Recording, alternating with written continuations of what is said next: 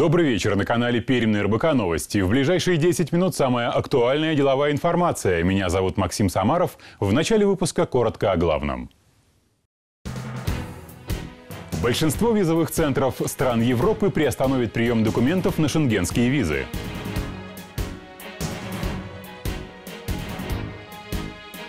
Губахинский метафракс вошел в двадцатку крупнейших экспортеров Урала и Западной Сибири.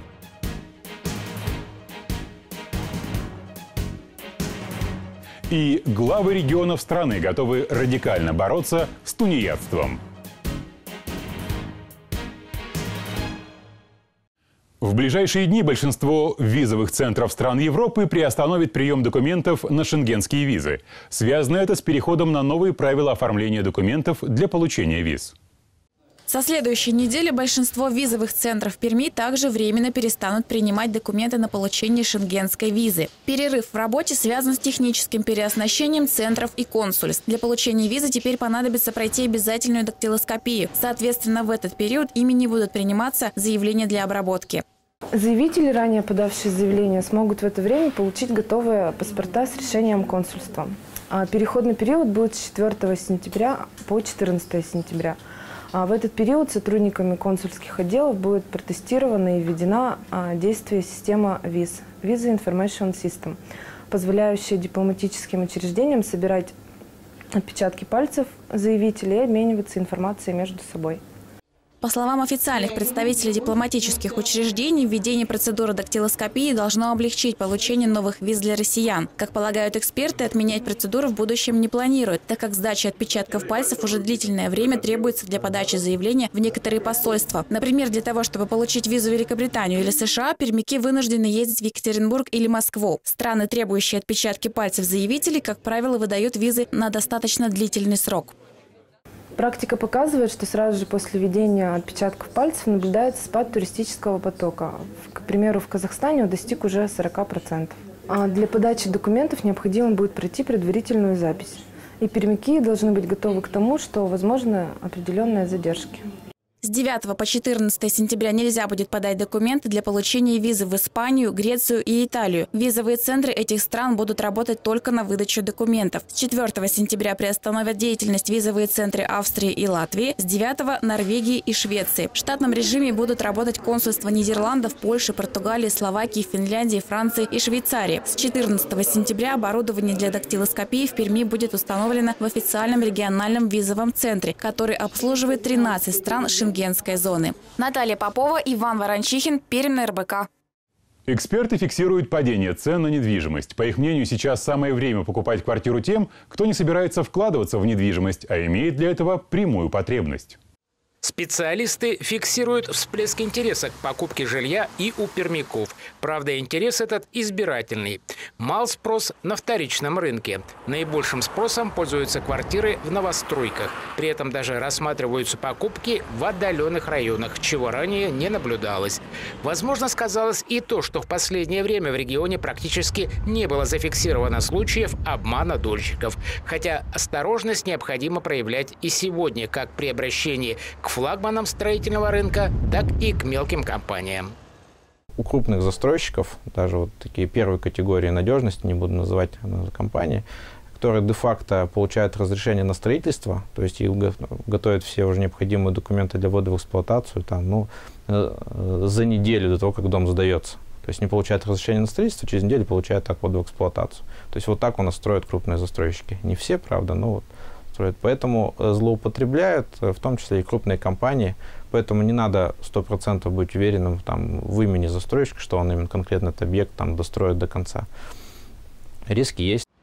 Риэлтор отмечает, что перестал смущать покупателей и срок сдачи жилых домов. Раньше люди отказывались приобретать квартиры, сдачи которых нужно было ждать больше года. Сейчас покупают новостройки, которые будут пущены в срок только в 2017 году. В первом полугодии в Прикамье было сдано в эксплуатацию 8 тысяч квартир. Индивидуальными застройщиками было возведено более половины всего жилья. Между тем темпы роста жилищного строительства в Прикамье продолжают снижаться снижаться. По сравнению с аналогичным периодом прошлого года они упали в два раза. Но тем не менее рост есть, и он составил почти 20%.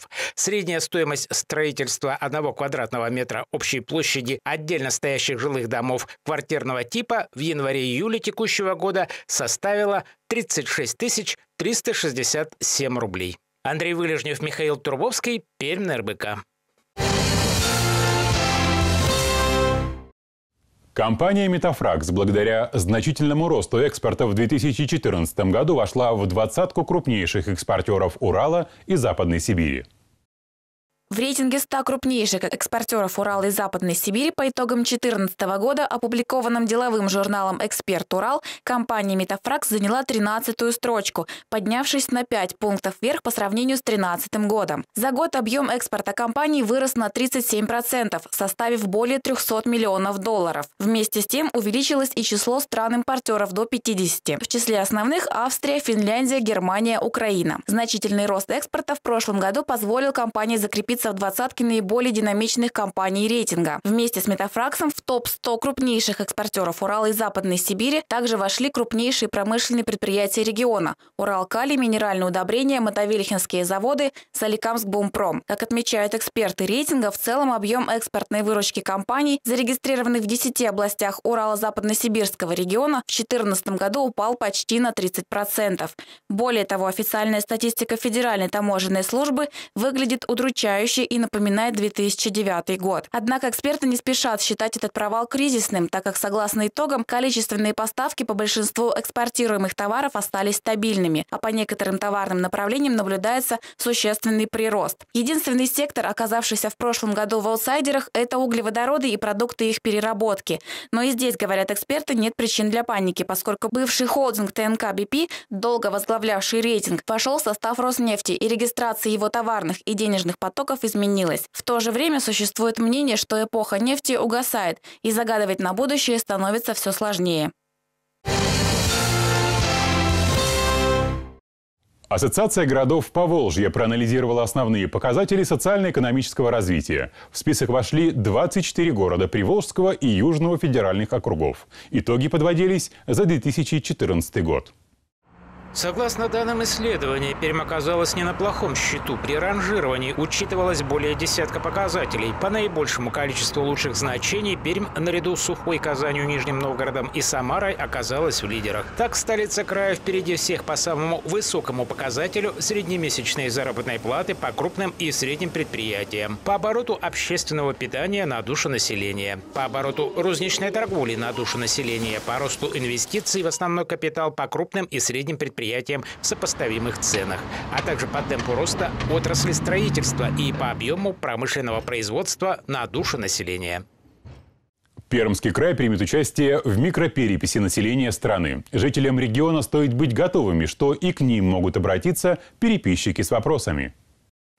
С 1 по 30 октября Федеральная служба государственной статистики будет проводить выборочные статистические наблюдения социально-демографическое обследование.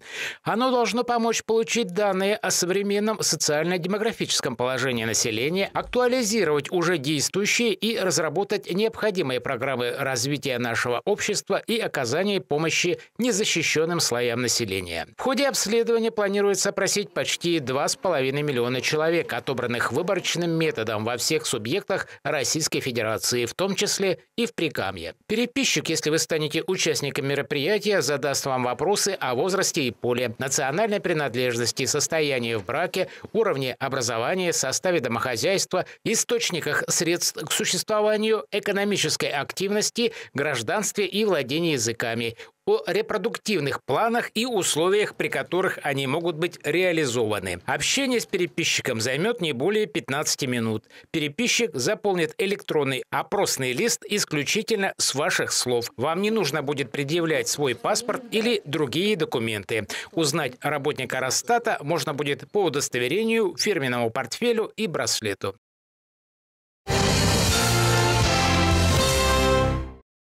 Главы регионов страны готовы бороться с теневой занятостью и нежеланием работать радикально. Большинство из них поддержало введение уголовной ответственности за тунеядство. Власти российских регионов поддержали законопроект, устанавливающий уголовную ответственность за уклонение от трудоустройства более шести месяцев, назвав эту меру своевременной и актуальной, сообщают «Известия». Напомню, проект поправок в законодательство, возрождающий наказание за тунеядство, был разработан депутатом Заксобрания Санкт-Петербурга Андреем Анохиным. Губернаторы Севастополя, Республик Тыва, Адыгея, Мариэл полностью одобряют действующую редакцию документа. Некоторые регионы предлагают учесть отдельные замечания, например, расширить категорию категорию лиц, на которых закон о тунеядстве не будет распространяться, предусмотреть переходный период и организовать широкое обсуждение с научным сообществом. Здесь палка о двух концах. Во-первых, у нас нет столько рабочих мест. Во-вторых, чисто рабочие места есть, но люди, имеющие высшее образование, не пойдут на заводы. Около 17 миллионов россиян не платят налоги в небюджетные фонды и, соответственно, НДФЛ. То есть, по сути дела, страдает бюджет наш. Федеральное министерство настаивает, что наказание за тунеядство противоречит как действующей конституции страны, так и международным актам. Большинство регионов, не поддержавших законопроект, придерживаются такого же мнения. К примеру, губернатор Прикамья Виктор Басаргин, несмотря на то, что он разделяет оценку остроты проблемы снижения авторитета человека труда в современных условиях, считает, что наказание за тунеядство вызовет ухудшение международного имиджа нашей страны как демократического государства. Проблема теневой занятости в России сегодня очень актуальна актуальна, однако ее решение требует более глубокой проработки. И это была вся информация на сегодня. С вами был Максим Самаров. Оставайтесь на РБК. Всего вам доброго и до скорой встречи.